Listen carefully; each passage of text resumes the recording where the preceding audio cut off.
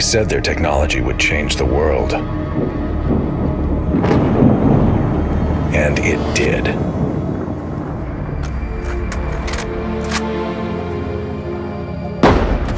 But not in the way any of us expected it.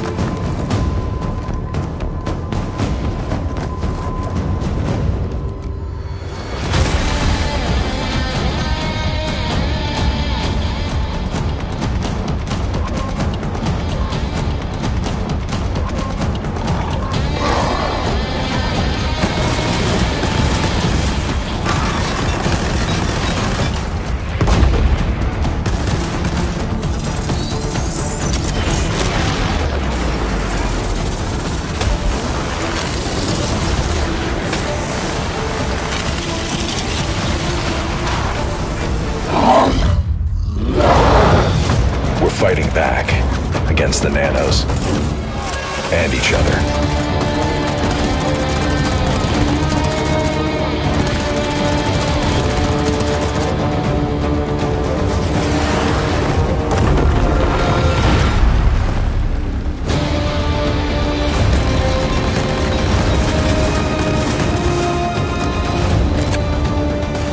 If there's a chance.